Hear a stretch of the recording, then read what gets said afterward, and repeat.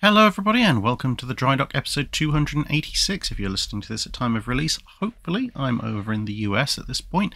So, uh, hello to those of you who have met me over there or about to, and uh, well, hello to everyone else as well. you never know where I might show up next. This week, the questions are taken from guides 358 and 359. That's to the two county class heavy cruisers HMAS Australia and HMAS Canberra with further questions from the Wednesday videos on the Battle of Trafalgar, concluding the story of Admiral Horatio Nelson, and of course the voyage of the mighty El Glorioso, Spanish treasure galleon dash warship, and then uh, a guest question or two from the second video diving on the wrecks of Midway with John Parshall. So let's begin. Graham W. Kidd asks, How did a county Kent class cruiser survive five kamikaze hits. That's amazing. Well, it's all down to where you're hit. So you can actually see most of the kamikaze hits in this picture. The first one hit on the port side of the ship in the area of the anti-aircraft battery, which, if I'm reading the damage report correctly, essentially accounts for kind of the burn marks and so forth that you can see roughly center right of this picture around the second and third funnels. Then another kamikaze, which is the one whose impact you can't see, hit between the four inch guns on the starboard side, so on the opposite side of the ship, so in roughly the same area, kind of amidships. Then you have two larger aircraft, both of which are actually shot down, but at the last minute. So they hit the water and basically aquaplane skid into the side of the ship. So, again, if I'm reading the damage reports correctly, one of them would account for the scratching and so forth you can see at the waterline to the right hand side of the picture. And then the other one hits just below the bridge, which you can see on the left hand side. And yes, that is a big hole in there because that uh, twin engined aircraft it actually had a fairly large bomb on board, which detonated when it contacted the ship. Whereas, obviously, further down the ship on the right hand side of this picture, it was, well, either just a plane or the plane which with a bomb the other first plane was carrying didn't detonate for whatever reason. And aircraft themselves are relatively lightly built compared to a 10,000 ton ship, especially if you happen to be slamming into the armor belt, which you can see is uh, rather present here. And then the final attacker, believe it or not, you know, even without hole in the ship, it did induce a bit of a list, but they corrected for it and the ship was still going to remain on station. The final attacker went for the bridge, missed, ended up smashing into various bits of the upper superstructure, including the foremost funnel, which is why it's all bent over like that. And even bending the funnel over like that wasn't strictly speaking a reason for Australia to be withdrawn. They could have just cut the broken bit off and kept going, although it would have been a little bit uh, smoky up there. But the main problem was that on its way past the bridge and into the funnel, the plane actually ripped through a lot of the ship's radar and wireless systems, without which they decided it was probably best for the ship to go back and get everything patched up again. Squallfee asks, how did the 8-inch guns on the county class ships, like Australia, compare to the 8-inch guns on American heavy cruisers? So if we look at the variants of the 8-inch 55 that the US used on cruisers that are contemporary with the County class, rather than obviously the 8-inch 55 that you'd find on the Des Moines or even the Baltimores and Oregon cities, which is you know further mark variations thereof. So comparing that with the British 8-inch, the British gun is a 50 caliber weapon, the American gun is a 55 caliber weapon, but even with the fact the British gun is ever so slightly shorter, it's massively lighter, or rather, the American gun is massively heavier compared to almost every other 8 inch gun. So the average weight for the British gun is about 17.5 tons. The American gun is about 30 tons. It's not entirely clear why the American gun is so heavy, but there you go. In practice, the rate of fire on both guns is about the same. You, there's all sorts of figures thrown around, but wartime use seems to indicate that the average rate of fire is about three to four rounds a minute, maybe five rounds a minute if you're lucky, for both sides. So, you know, bit of a wash there. HE or HC shells are pretty much a wash as well. They're within a couple of pounds of weight of each other in both overall weight and bursting charge. The AP or semi arm piercing shell, depending on which gun you're looking at, is a little different though. Although again, the weights are very close 116 kilos or 256 pounds versus 260 pounds or 118 kilos on the American guns. The American shell carries 1.7 kilos or th- uh, just over three and a half pounds of explosive. The British uh, shell carries 5.2 kilos or 11.5 pounds of explosive. So, assuming that the shell actually gets in to the target, the British shell is likely to do considerably more damage because that's a proportionally very high amount of explosive. Muzzle velocity is similar, but the American shells appear to be slightly more aerodynamic. If they're fired at uh, 75 feet per second faster than, at least using the AP semi arm piercing, the American shells are a lot flatter, and on other installations of the American gun where they're firing at 2700 FPS, so only 25 FPS slower than the British gun, whilst the performance out to about 10 15,000 yards is similar. Again, the American gun seems to require less elevation to get out to the longer ranges. In terms of total elevation, however, the British gun does have the questionable ability to fire at extremely high angles because when they were originally designed, there was talk of them being dual purpose. So you can, in theory, crank the uh, British gun all the way up to 70 degrees, believe it or not. And lastly, of course, you have armor penetration values.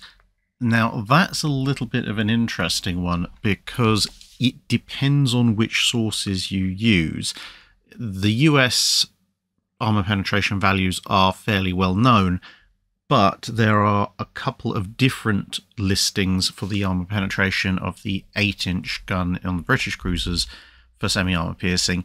And if you use one set of data, the armor penetration for the British ships is very slightly less than the American. So, for example, at about roughly speaking 16,500 yards, the American shell penetrates six inches or 152 millimeters of armor, whereas the British shell penetrates uh, just over 140 millimeters of armor. So not a huge difference, half an inch di- penetration difference.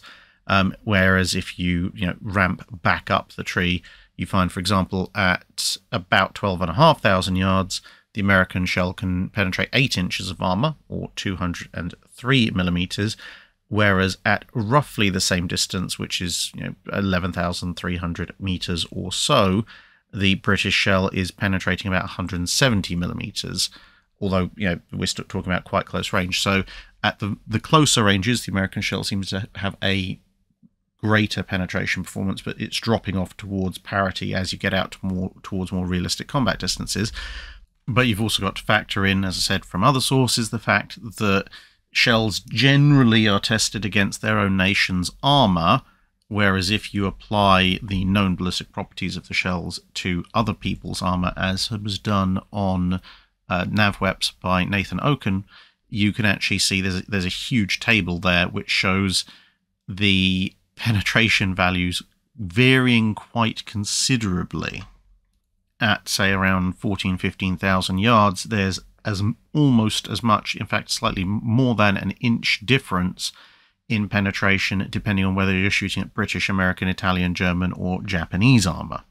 But broadly speaking, the weight of evidence seems to suggest that at expected battle ranges, the British shell will penetrate very slightly less than the American shell, but not by much.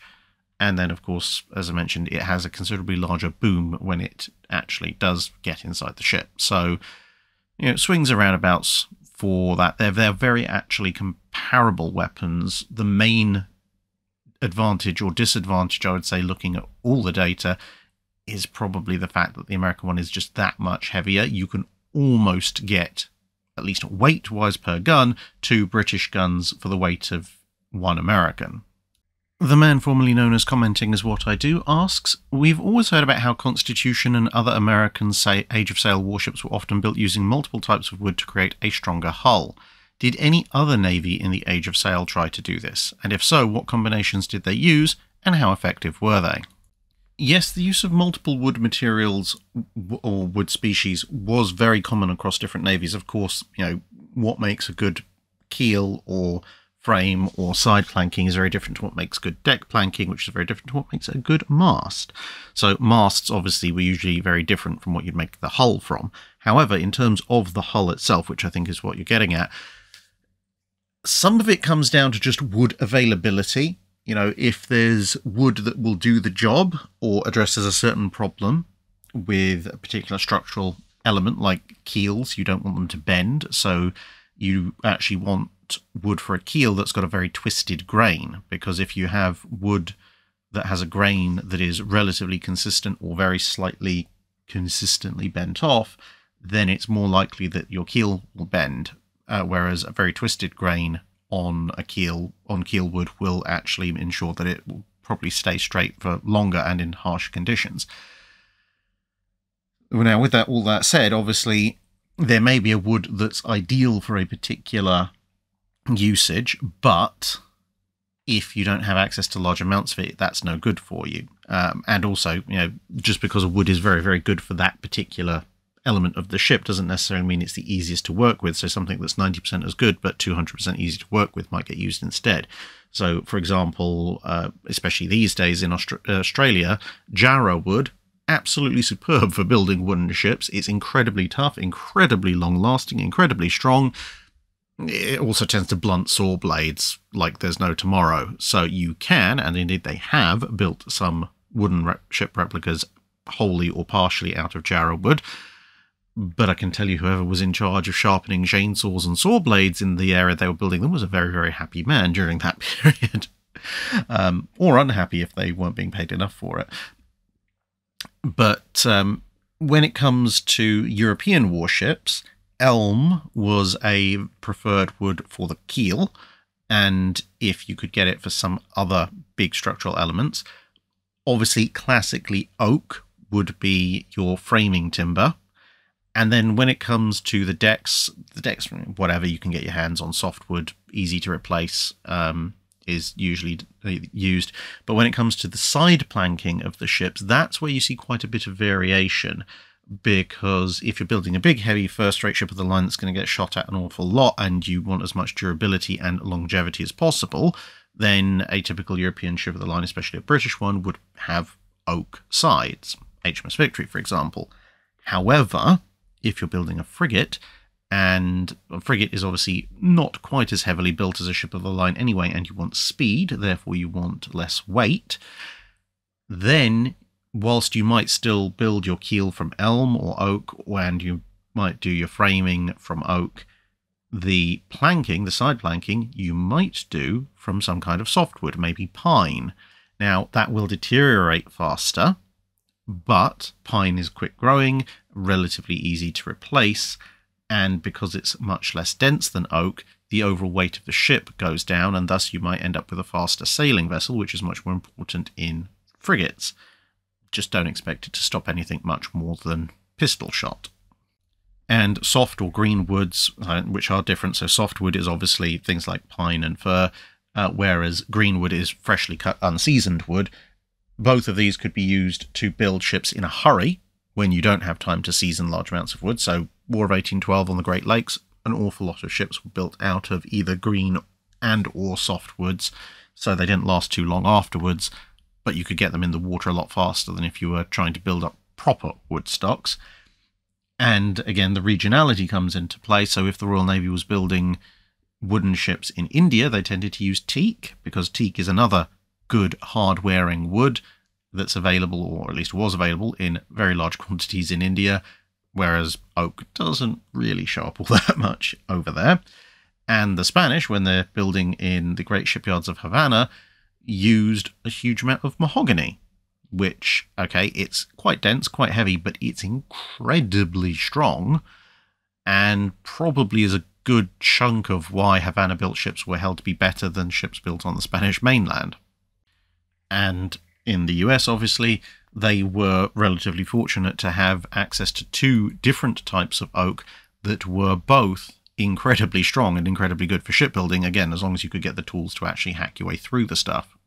Katana asks In World War II, how far could torpedoes turn from their launch angle, and how and how far could they run out before they made this turn? Was it immediately after leaving the tube, or could it be varied? It depends on the torpedo. So, as you can see with this diagram, there is something called the reach. So when the gyroscope ring, if you want the torpedo to turn, is set at a certain angle. So you can see here they've wanted it to turn approximately 45 degrees to port. Then, and you know, that can be set automatically or can be set manually. You fire the torpedo, torpedo spins up its gyroscope and will initially go in a straight line for and that's the distance of the reach and then at some point the, it will kick in and go oh okay the ring of the gyroscope actually says I should be pointing this way, so I'm now going to be pointing this way, and that will then obviously, through the control mechanisms, bring the torpedo around to the new heading. You could, in theory, depending on the torpedo, have a different reach for each torpedo, and if things go wrong, you could have the torpedo turn pretty much the instant it leaves the tube, and then you've got a circular run going. But for most torpedoes, exactly how far away from the sub it's going to go before it makes its turn is pretty much going to be fixed by the mechanism that spins up the gyroscope. Later torpedoes, they were able to introduce timer delays to this, and then you ended up with torpedoes that were sort of halfway between the old straight runners and fully guided homing torpedoes later on, which of course can actively change their course multiple times during their run. And these were designed for use against convoys. They weren't that much use, to be fair, against a big ship on its own, but against a convoy where there's lots of ships, they were useful. And what that had was an automatic system that actually switched the gyroscope ring back and forth consistently on a timer, thus making the torpedo zigzag back and forth and that allowed the torpedo to sweep a much larger area. So if it missed its initial target in a convoy by zigzagging backwards and forwards across multiple ships' paths, there was a higher chance that it might actually hit something, even if it wasn't necessarily what the submarine was originally aiming for. Greg asks The US armed forces are notorious for friendly fire incidents amongst their allies, particularly during World War II. Uh, he says, My grandfather's Australian Army camp in Papua New Guinea was shot up by US Army forces, as a by way of example. Does this same reputation apply specifically to the US Navy? And if so, is there any statistical evidence that that reputation is deserved? In World War II, the US Navy does, in its first year involved in the Second World War, have a slightly higher than average number of fire, friendly fire instance. That much is true, um, especially if you look at uh, Robert Lundgren's latest analysis of the first big night action, i.e., Ie Kirishima and Friends versus Callaghan and Scott, uh, where huge numbers of US Navy ships were hit by their own side. But you also have incidents like First Savo Island, where Chicago, as seen here, almost shot up Canberra uh, when it came back. So you you could argue maybe based on that that it is a little bit deserved, but then on the other hand, you have a navy which one is in its first year of war, whereas okay, so so are the Japanese, but everybody else has been at war for a few years at this point. And as surprising as it might sound, this is the first major conflict that the US Navy has gotten heavily involved in where there is significant enemy naval opposition and the US Navy is taking part in prolonged, large scale, and complex naval operations. Because if you think about it, before that, what combat experience does the US Navy have? In the Age of Sail, you've got ultimately relatively small conflicts like the Quasi War and the War of 1812, technically the American War of Independence, although that's technically the Continental Navy, operations against various pirates. Then you've got the American Civil War, although obviously, you know, that's a civil war, it's not against overseas opponents, then again, number of small conflicts, but then you've got the Spanish American War, which is probably the US Navy's single biggest live action combat up till World War II in the age of steam and steel, um, particularly steel, because obviously uh, American Civil War is iron. Then you have World War One, and whilst the U.S. Navy is involved in World War One, it is nowhere near as heavily involved as, say, the Royal Navy is, and it's nowhere near as heavily involved as it would be in World War Two. So, yeah, it's actually surprising when you think about it how how late the U.S. Navy is to full scale, you know, straight up peer opponent warfare, where they're actually getting really heavily stuck in with all that said, in terms of, you know, my ship shot up your ship, San Francisco shooting up Atlanta, Chicago was shooting up Canberra, etc., etc., that seems to mostly die away as the US gets a bit of combat experience under its belt by 1943.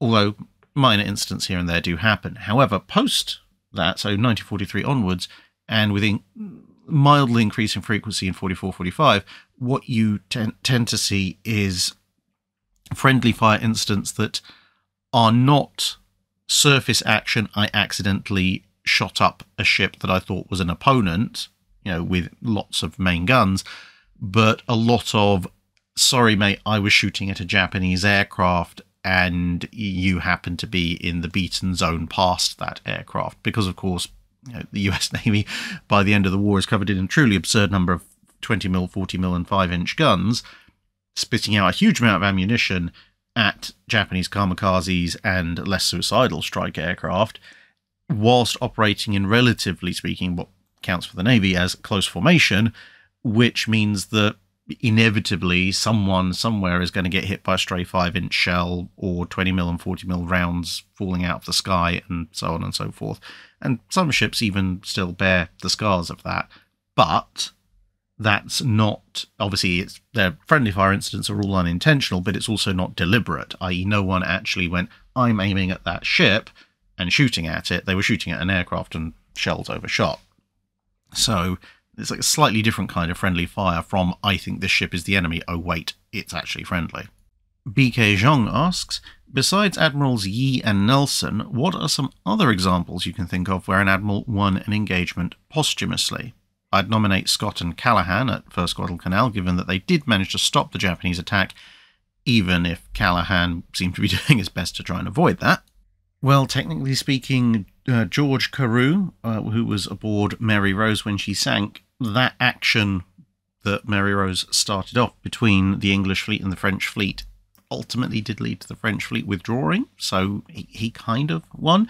You could make maybe a speculative argument for Admiral Hood at Jutland, considering he went up with Invincible, but Invincible did ultimately kill Lutzow. So, you know, on balance, the trade was in the British favour, although a little bit of a mutually assured destruction going on there. Admiral Tromp of the Dutch Navy is a a little bit here nor there because he was killed in action, but exactly whether the battle that he was taking part in, the Battle of uh, Scheveningen, I think. Scheveningen? Uh, Dutch people, please phonetically put it in the comments.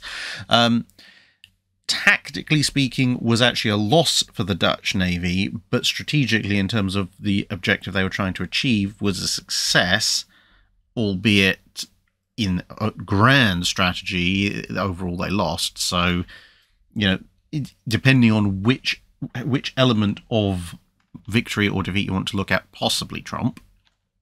Bart J. Bowles asks, What is your favourite moment from the Battle of Trafalgar? Well, I think it comes down to the kind of favourite moments I like in naval battles generally. My personal favourite moments are points just before something dramatic happens, ideally something that's right on the tipping point, you know, the fulcrum on which the entire battle can turn, because there's so much potential in that moment. And so for me, the favorite moment of Trafalgar is probably when Temeraire punches through the Franco Spanish line and comes to the assistance of victory. Um, apart from anything, it's hugely dramatic because there's a huge wall of gun smoke, and then suddenly you've got this massive three decker come bearing down out of it, followed by the rest of Nelson's column of ships. But also, it it signifies so much about that battle because, as I pointed out in the video, at one stage in the battle, it almost looks like Nelson's gamble has actually failed because Victory hasn't made it all the way through the Franco-Spanish line. She's okay, devastated Bucentaure, but she's now caught up with Redoutable, and down in Collingwood's section, Royal Sovereign has been similarly tied up with Santa Ana, big Spanish first rate, and the ships immediately behind him are being shot to pieces quite quite enthusiastically. You know, both uh, Isle and Mars end up pretty much dismasted, but still fighting.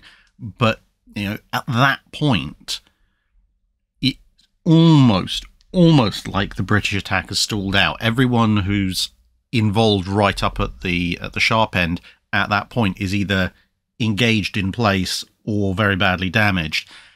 And it's at that moment when Temeraire followed by the rest of uh, Nelson's column and, of course, the, the rest of Collingwood's column further down, when they come barreling through the smoke, pretty much undamaged because those lead ships have taken all the pounding, that's when you know that the fight is really on. And they're able to obviously come through, pass into the Franco Spanish line, start engaging ships left, right, and centre. Temeraire obviously comes to help victory. And then it's all back on again. So that, I think, would be my favourite moment of all.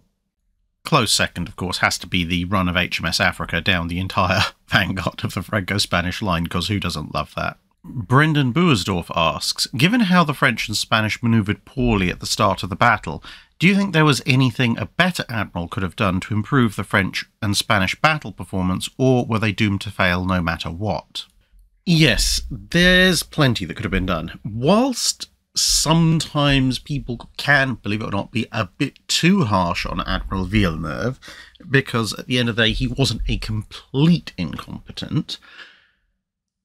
Um, virtually anyone of flag rank in the Franco Spanish fleet in that battle could have done a better job than Villeneuve. Um, I mean, for one thing, whilst the Franco Spanish formation wasn't exactly brilliant, it was somewhat tighter and better organized when it was heading south for Gibraltar. The sort of vague crescent arc, all sort of hodgepodge chips to the left and to the right, port and starboard, but obviously, spaced out and clumped together, which is the line that Nelson ended up driving into. That was thanks to Villeneuve bottling it at the last minute and ordering everyone doing a 180 to come back and go into Cadiz. I don't think Gravina the Spanish admiral, Magon in uh, the, the French fleet. I don't think either of them or any other number of the senior Franco Spanish officers would have made that mistake. I mean, apart from anything, you got Cartagena and so forth on the other side. So if you want to run to a friendly port, you might as well, rather than doubling back in a disorganized formation essentially towards the British. But there you go. So, yes, most of them probably would have done a, a better job. And on a larger scale, I suppose the other thing would have been that instead of sitting mostly idle in Cadiz and leaving training of the crews pretty much down to the individual captains. And I mean, that does have some pretty good results when you look at certain vessels that like uh, Algeciras, Aigle, um, Redoutable, etc., where uh, or even Intrépide, where they're fighting quite hard because they've specialized essentially in in boarding actions because they're stationary. So why not practice those? A truly competent admiral, I can definitely see Magon doing it. Probably Gravina as well. Would have instituted fleet-wide gunnery practice, even if they're not training in actually, you know, doing the actual shooting of the guns, because you don't want to shoot up your friendly port just gun practice, you know, practicing loading, running the guns out, bringing them back in, swabbing them out, reloading, getting the gunners up to speed, which you can do while stationary, would have helped the Franco Spanish cause quite a bit as well. So, you know, combine somewhat better gunnery on a fleet wide scale with a slightly tighter formation, and the whole thing could have been a lot, lot closer of a battle. And, you know, some encounters were pretty close even as it was. When then asked, it's often held that in order to upgrade the Iowas or the Montanas to the 18 inch guns, that they would need to go from triple turrets down to twins. However, the Tillman designs were able to fit a triple 18 or even a sextuple 16 inch on roughly the same beam. Why were the 1940s Americans less confident that they could do the same as their predecessors had theoretically planned to? Partly, you've got to remember that the Tillman turrets were never actually fully designed, they were very much sketches. So, exactly how big they would need to be would be something that, you know, might be adjusted a bit later on. But one of the other major differences is hull form. Because remember, the Tillmans were not particularly quick. The Montanas were much faster than the Tillmans, and the Iowas are faster still.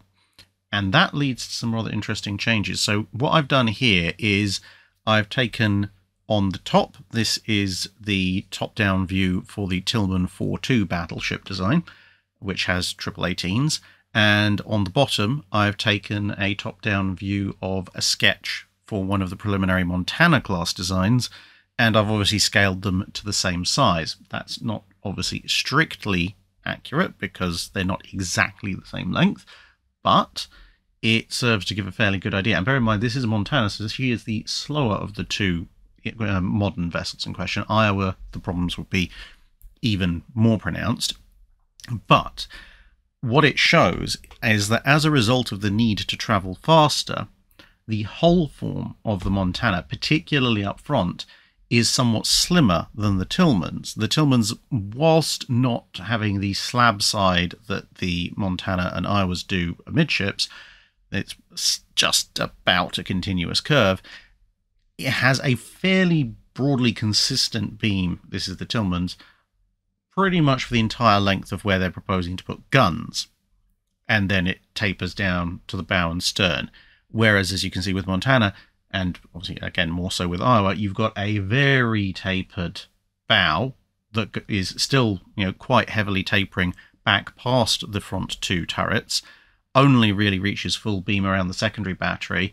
And although on the Montanas it does stay mostly wide, getting further back, it then starts to taper back to a point that is a little narrower than the Tillmans by the time you get to the last turret. And on Iowa, you know, the problem is a bit more exacerbated. And bear in mind, this is only a sketch of one potential Montana design, but the point is the general principle.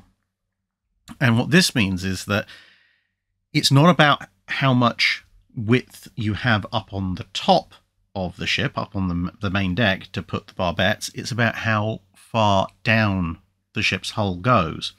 Now, if you've seen uh, one of the more recent videos a few weeks ago from Battleship New Jersey, on Battleship New Jersey's YouTube channel, uh, Ryan there actually goes to the barbette of turret 16-1. I almost called it turret A, but it's a US ship, so turret 16-1, the first turret.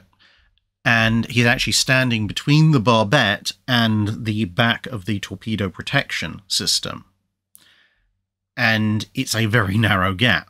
And you can kind of see why, especially if you look at where 16-1 would be on the Montana, which is on the far right there, you can see how much less space there is, how much less beam width there is compared to the Tillman battleship, uh, which is the top half of the picture.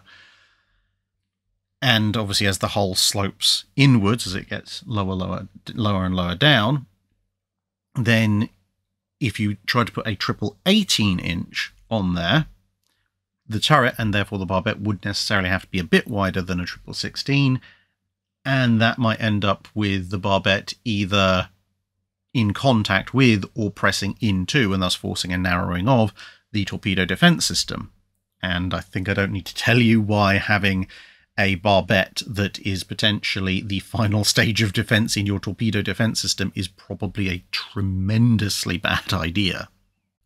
Believe it or not, it's not, which is what I thought it might be at first, anything to do with the actual depth of the torpedo defense system. Although the way the torpedo defense system is constructed is different on the Iowas and Montanas versus the Tillmans, the actual depth of torpedo defense system, at least at maximum depth, is broadly similar, somewhere between 17 and 20 feet, depending on how you scale which particular cross section on which particular drawing. I think the Tillmans work out at almost exactly 18 or 18 and a half feet. Um, the Iowas and Montanas are, depending on where you are along along it, either very slightly narrower or about the same. So essentially, you could, in theory, have triple 18s on a Montana or an Iowa, given their overall maximum beam, but you would have to accept a much slower vessel, which would allow you to fill out the hull form enough to fit the barbettes and the magazines inside the torpedo defense system fore and aft. John Doe asks, You keep mentioning the time period of the channel. What time period is that and why? So this is actually covered in the FAQ and I think maybe the channel intro video, but you know, there's always new viewers, so probably worth repeating occasionally. The channel, broadly speaking, covers 1750 to 1950. I will go back before that, but not usually after. Uh, when I go back before 1750, if there is enough research material to, you know, present a coherent topic, then I'll do so. If it goes very far back beyond 1750, so you know when you're talking Anglo-Saxon, Viking, and then ancient times, most of the time I'll try and get a subject matter expert to come in and talk about it because I whilst I do know an amount about those periods, I don't know as much as I would like to as enough to be confident to come and tell you this is the fact, this is the thing that happened. Um, I mean, as we saw with the Battle of Actium, historical sources often very much disagree themselves and records are sparse to non-existent in terms of like no there's no order of battle fleet list that survives from actium for example. And so people who have studied this for years are you know probably the better bet at passing on that kind of information. And you know people picked up on that kind of thing in the greek fire video that i did. So while i was pretty confident on all the bits and pieces i was saying about greek fire itself which is as much engineering as it is naval history uh, at one point because I was reading uh, translated source and the way it described it to me made it sound like it was describing a people. But those who were a bit more well read on literally Byzantine politics pointed out that actually it was describing the inhabitants of a, a city which was part of a theme which was essentially like a state or a county within the Byzantine Empire, not a separate nation from the Byzantine Empire. And that's the kind of thing that you know people who actually study the Byzantine Empire in some detail know. Um, whereas someone whose interest in land mostly consists of can I get the raw materials from it to make ships, and can I use uh, this bit of it to host my ships, you know, in that case would make a mistake in because of the context of what was being said. Now winding forward to 1950, the cut-off date for 1950, which roughly is basically the Korean War, is for a few reasons. Um, firstly, politics. Once you get much past the Korean War, you start to talk about the Cold War, Vietnam, Falklands, Gulf War, etc., etc. And because a lot of those conflicts are still somewhat hot topics politically, I've noticed that when you try and cover them, or when other channels have tried to cover them, an awful lot of the comments ends up with massive numbers of people shouting at each other about how their side was right or wrong or whatever. I mean, just look at the flack poor old operations room got when he did a video covering one of the naval engagements between India and Pakistan in one of the Indo-Pakistan wars in the 70s, I think it was. Never mind the fact that he was pointing out and highlighting a battle that India won, he's still got a bunch of rabid Indian nationalists jumping down his throat because, of all things, he hadn't used a map of India that they particularly approved of. I mean, they can go jump in a lake as far as I'm concerned, um, but, you know, simple petty things, but they're near enough to modern history that people get all het up about them. And I'm sure if I do anything about the Falklands War, you'll end up with at least three or four people in the comments who go, go on about the usual conspiracy theories about in the Falklands, you know, claiming Invincible was sunk. And, and that kind of stupidity. It's like, you know, never mind the fact that I've met several people who were aboard Invincible and they are decidedly not drowned or part of Davy Jones's crew. Um, and also, you know, they haven't really thought that particular conspiracy through because if you believe the whole thing, you also believe that Britain was capable of putting together an entire Invincible class carrier and Sea Harriers and replacement crew in six weeks to cover up the loss of Invincible, at which point, what possible hope do you ever have of winning against a country that can magic up an entire carrier, albeit a small one, in less than two months? And, you know, I don't need that kind of stupidity polluting the comment section, so uh, that's one of the reasons.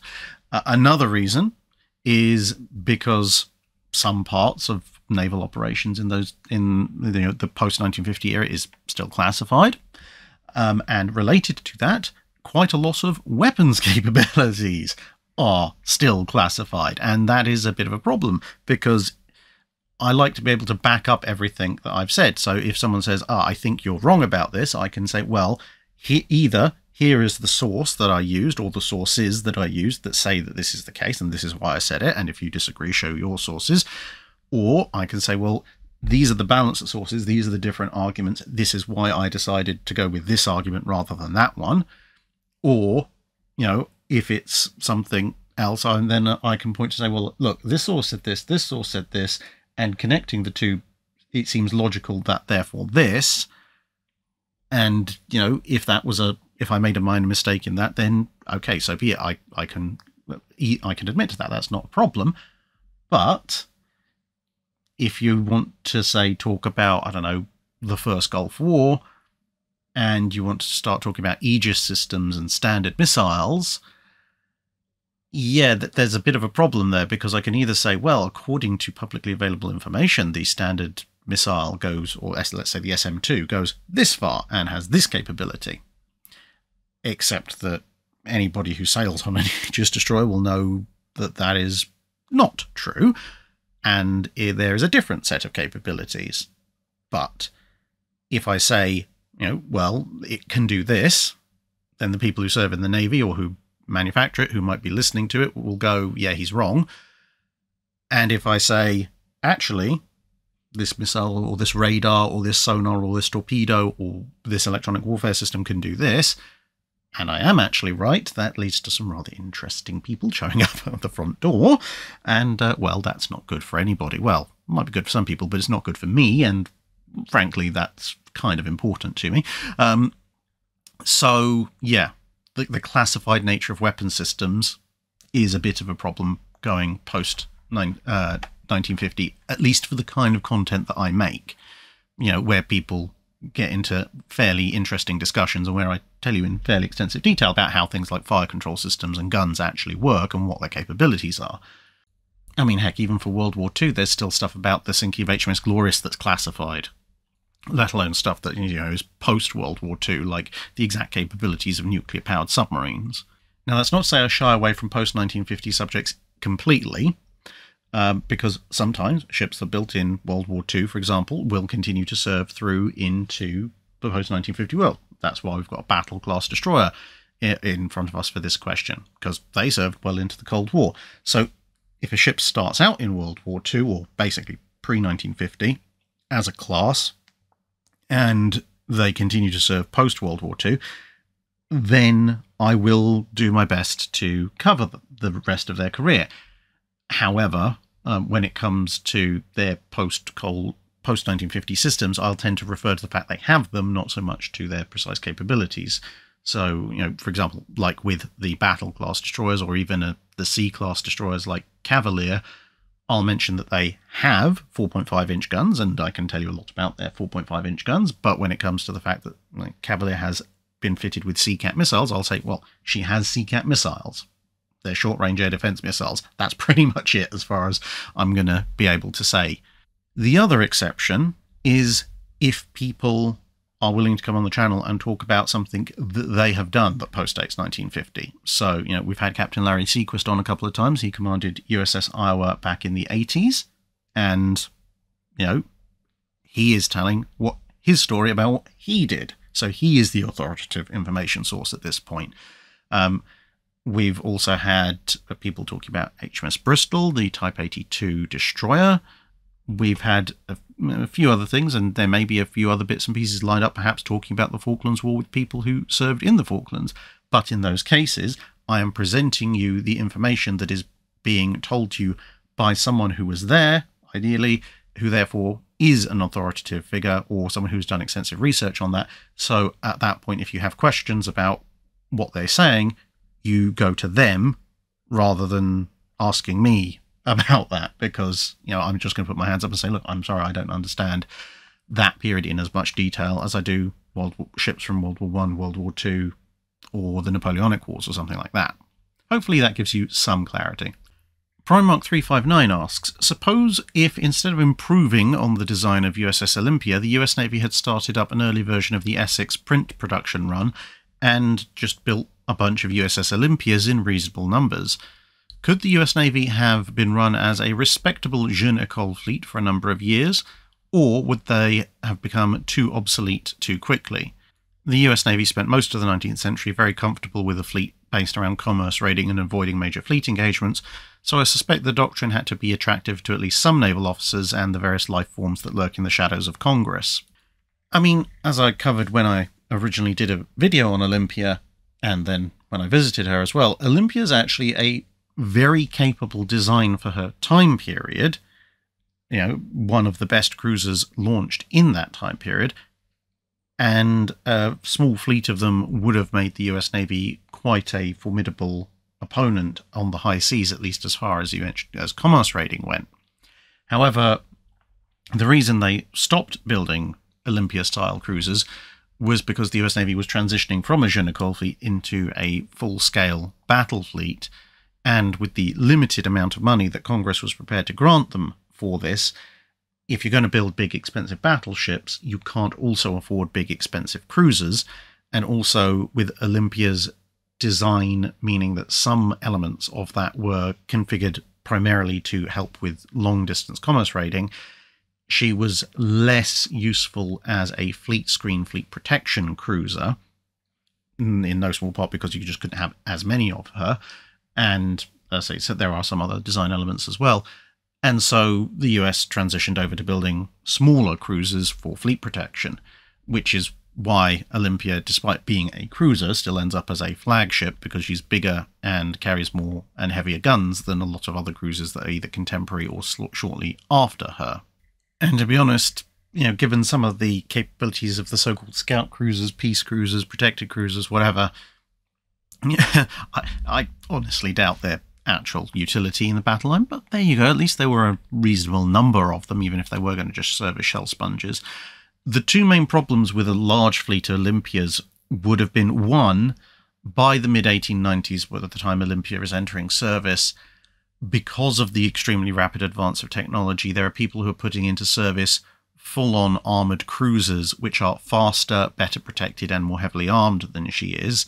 She is, after all, a rather large, fairly well armed, protected cruiser. And, you know, with the best one in the world, she's not going to win a fight against those armored cruisers. The other problem is the Spanish American War, because if the US had stayed with the fleet, i.e., not built battleships, and just had a slightly larger number of Olympia class cruisers, then whilst the Spanish Navy in the Spanish American War didn't exactly cover itself with glory, if you look at the performance of Olympia at the Battle of Manila Bay, you know, what guns hit what and did what amount of damage, a theoretical any number of the battles that happen in the Caribbean, where you replace all the bigger, heavier US ships with copies of Olympia, it could take a lot longer to win, and you may end up losing some ships. You may even end up losing one or two of the engagements. simply because those ships would have just been quite tough targets for something like Olympia, which was basically one of the major downfalls of the Jeu in total. Donovan Lawler asks Of all the naval warfare films you've seen, which, in your opinion, are the most and least accurate? Well, bearing in mind that, weird as it might sound for a naval historian, I don't actually have that many naval warfare films in my list of films that I have actually watched fully through, mostly because I'm, you know, I'm either doing something that's not naval history related um, in my personal life, or if I'm looking at naval history, I'm looking at the things that actually happened. Now, that's not to say there aren't good naval warfare films out there. There, there obviously are. There are some I'd like to see, but it, you know, life circumstances have conspired to the point that I just haven't seen that many at this stage. So, with that in mind, and my relatively limited um, board of films that I have actually seen all the way through, weirdly enough, in terms of most and least accurate, I would have to say that parts of the same film actually tick both of these boxes. So, and that film, as you might guess from what's in front of you on the screen, is the recent, I think it's 2019 Midway. Yeah, because, uh, you know, and some of you will have heard me say this before, it almost feels like Midway was done by two different teams when it comes to what's shown on screen in terms of historical accuracy. One team, presumably with some good historical consultants, indeed, some of the historians you've seen on this channel were consultants on that mo- movie. One team got things, you know, some of the most accurate that you will ever see on film. You know, if you line up the damage reports of which bombs hit where and when on the Japanese carriers at Midway, and then you go back and watch exactly which bombs hit where and when on Akagi and Kaga and so on and so forth, and what effect they had on the ships, you might as well call it spot on accurate. You know, some scenes, if you put a black and white filter and a few film grain scratches on it, maybe blurred it up a bit, you might fool people into thinking that literally was a picture from that battle. Unfortunately, the other half of the production team the ones that think that Japanese destroyers have quadruple torpedo tube launchers instead of bow guns, and that Kongo class battle cruisers can morph between the you know being an actual battle cruiser and a destroyer at will.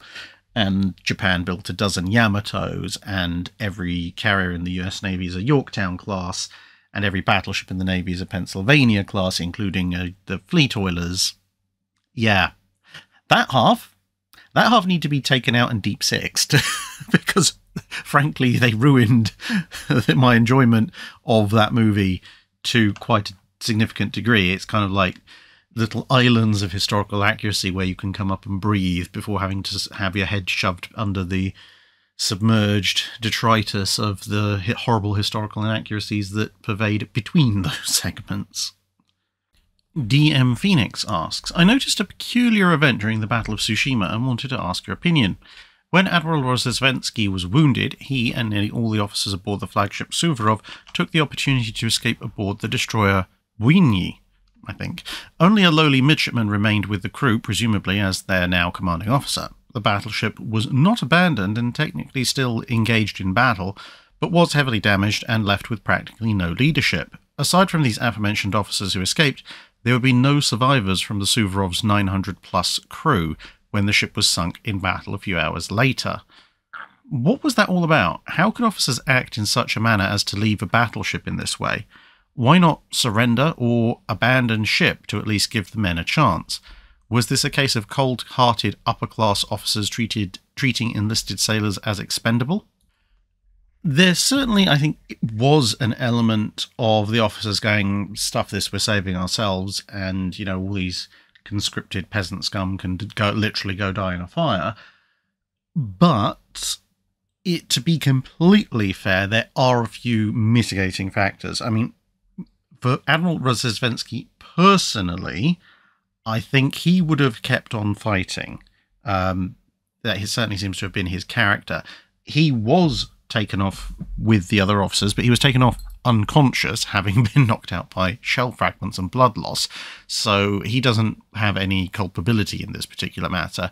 Uh, the other thing was, well, you know, internal communication systems aboard these kinds of ships were not particularly brilliant and in the first place, and Suvorov had been very badly mauled already by the time it was evacuated. So even if the officers had wanted to announce a general abandoned ship, the chances of that message actually getting anywhere particularly far were pretty slim.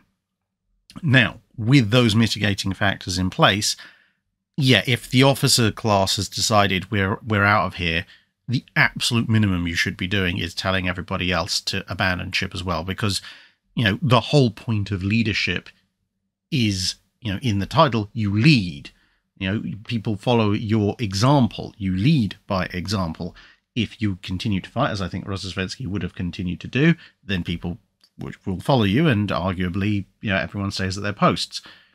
But if the officers, the people who are supposed to be in charge, decide we're going to skedaddle, well, the very least you owe your men is to tell them that they should run as well, using your men as essentially meat shields to try and ensure your personal escape.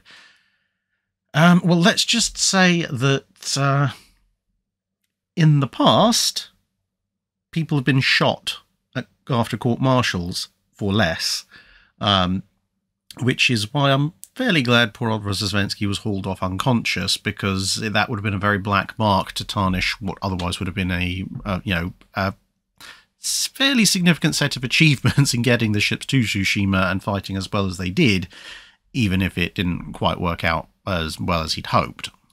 Jeffrey Conley asks, in your opinion, what warship could be considered a naval equivalent of the Fairey Swordfish, meaning you know, somehow the ship should on paper have been bad, but circled around to becoming one of the best. There are plenty of candidates, but I'm personally going to go with Victory because by the time of the Battle of Trafalgar, she's exactly 40 years old from time of launch. And when you look at the lifespan of first rate ships of the line, although they do tend to last longer than most, ships of the line at age 40 are really usually on their last legs. And to, to be fair, Victory had been considered to be on her last legs slightly earlier and then had a uh, re- big refit, you know, the so called Great Repair. But for a ship that old to be not only fighting fit, but the flagship and still one of the fastest and most powerful ships of the line on the planet once you factored her crew in as well as her armament, because obviously there were ships carrying more guns than her. That is really unusual for 40 years old. As I said, most first rates didn't reach 40 in active service, and those that did were usually not long for this. Well, to be fair, there was one older first rate at Trafalgar. That was the Britannia, which was further back in Nelson's column Uh, but she was only a few years older and she went basically off duty the year after. Whereas Victory, although she bounced back and forth a little bit in the latter part of the Napoleonic Wars between active duty and being used as a prison ship, she was actually technically on frontline service in some way, shape, or form for another about almost two decades. So her actual active lifespan if you add up pre and post Trafalgar as a either on duty or on call first rate ship of the line, is almost 60 years, which isn't bad for any wooden ship. And you know, uh, to be fair, Santissima Trinidad wasn't too much younger, but Santissima Trinidad had, of course, been through that massive rebuild that turned her from a three decker to a four decker, and that was comparatively recently. And Rayo, another Spanish three decker, Actually, the original ship was older than Victory, but again, she had actually been launched as a two decker and been taken in and converted to a three decker first rate, again, comparatively recently. And of course, neither Rayo nor Santissima Trinidad stayed in active service after Trafalgar. Now, obviously, technology wasn't advancing quite as fast in the late 18th and early 19th centuries, but still, a ship that's 40 years old leading the fight just going by timeline, that's like HMS Dreadnought, not the 1906 one, the previous one, the one that's a slightly out, out overgrown version of Devastation and Thunderer, leading the Battle of Jutland. or Admiral Lee downing Kirishima not with the USS Washington, but with USS Ohio BB 12, one of the Maine class pre dreadnoughts. Or someone, say, for example, in the 1980s, resurrecting a bunch of ships that had been built in the early 1940s and putting them into service to lead their own surface action groups. Oh, wait, that did happen. That's the Iowas. so, you know, technically speaking, the Iowas could also be classed, at least in their 1980s and 90s service, as a form of, you know, seagoing Fairey swordfish. And finally, for this week, Andre de Cool asks a few bits and pieces about the Battle of the River Plate 1956 movie. How would you rate the historical accuracy of the battle depiction, not counting the ridiculously small shell splashes, uh, taking into account they actually used World War II veterans, including INS Delhi, formerly Achilles, uh, who was actually there, and allowing for the uh, understandable unavailability of a Deutschland class, instead using USS Salem. Also, how would you rate the underway exchange between ships at 15 minutes 34 into the movie, the Nelsonian style summoning of captains, and what type of uniform is worn by the person in the left back at 46 minutes and 14 seconds? And last element, in the scene at 1 minute 45 seconds and 45 minutes and 11 seconds, there's a depiction of cleaning up gun barrels, similar to how you described it in Dry Dock 153. Okay, a lot to work through. I'll try and get through it as quickly as possible. How would I rate the historical accuracy of the battle depiction, apart from the shell splashes? Well, you can actually quite clearly see when you freeze frame it like this that, for obvious reasons, when they're putting shell splashes around the ships, they're using models. This is very obviously a model of USS Salem, not actually USS Salem. Um, you know, for movies like this, bearing in mind it's a 1950s movie, you've got to give them an awful lot more slack than you give modern movies. CGI isn't a thing. Decent model work is barely a thing, to be perfectly honest. The fact they've actually gone out their way to get full-on actual warships, and you know, a lot of people either you know, a lot of naval or ex-naval personnel involved in the film is a huge leap forward um, when it comes to storytelling for this kind of commercial product. I mean, they do a, a, much better job of it than, again, a lot of I mean, more modern historical movies. And, you know, given the limitations that they have in terms of you can't actually shoot up ships, and as say, there's no substitute really for doing that. Um, that I think the the battle depiction is probably about as good as you could expect them to do with the technology of the time. Um, in terms of the underway exchange at 1534, as for the underway exchange, uh, which you can see here, it's kind of breeches buoy style um, exchange between the uh, not Salem and a supply ship. It's well, it's pretty much spot on because they're actually doing it. You know, you can't get much better than that. This is actually a side by side between two ships, and that is consistent with how they would have done it. Uh, the Nelsonian style summoning of the captains, on the one hand, that is a bit of uh, film invention. It didn't actually happen. On the other hand, it's actually a very, very good scene. It's entirely consistent with the film and with the, you know, the tone, if not the actual historical fact of the actual battle. And it's very useful because, of course, in reality, Harwood had already devised these tactics and just needed to communicate which set of tactics he wanted um, the, his other captains to use. Whereas, you know, just sending you know an order, send this prearranged plan via the wireless, that doesn't help the audience. So by changing it to a scene where he sits down and explains to them exactly what he wants to do, it also informs us as the audience what he wants to do. And thus, I think it, it's a pretty good inclusion, even if it's ahistorical. And yes, the cleaning of the gun barrels, pretty much exactly as I described. They've got the gun lowered and the rope is attached to the brush, which they're, well, they were pulling through before they were disrupted by listening to the uh, radio broadcast of the wonderful American announcer down in Montevideo. He's a, a real, real character. Yeah, as far as naval films go, as I said, you know, once you allow them the slack of being a 1950s film and actually having gone out their way to source actual warships, even if they're not the correct ones for the most part, apart from Achilles. It's a, it's just a really a really good film, really well told. Um, I really like it. I must admit, going into it the first time I was going to watch it, I did wonder when I saw towards the end when I saw the uh, funnels of a county class was clearly a county class coming into play, which is Cumberland when she shows up. I thought, well, why didn't they use that? Because okay, Cumberland, she can't portray Ajax because with actual Achilles there, the differences would be far too stark.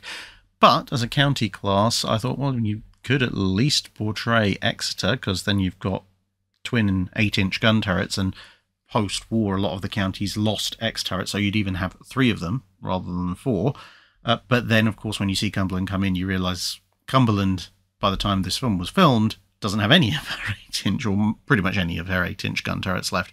So I understand why they let her play herself, but, you know, just very briefly appearing. Otherwise, you know, using town class and crown colonies to stand in for Ajax and Exeter, and then, of course, Salem to stand in for Graf Spee. It's, it's forgivable enough. I mean, I, I think the the suspension of disbelief you have to put in because of the differences in appearance of the ships compared to their historical counterparts is more than made up for by the fact you're looking at actual warships doing actual maneuvers and firing actual guns and people you know the set cannot be more realistic than it is because they're on actual Royal Navy at least for the Royal Navy ships they're actual Royal Navy warships. So you know, it lends an, an air of realism that even a really well constructed set is still going to be missing uh, for the most part. So, yeah, I really like the film, and thank you very much for the questions. Well, that's it for this week. Thank you very much for listening, everybody. Hope you're all having a wonderful time, and I will see you again in another video soon.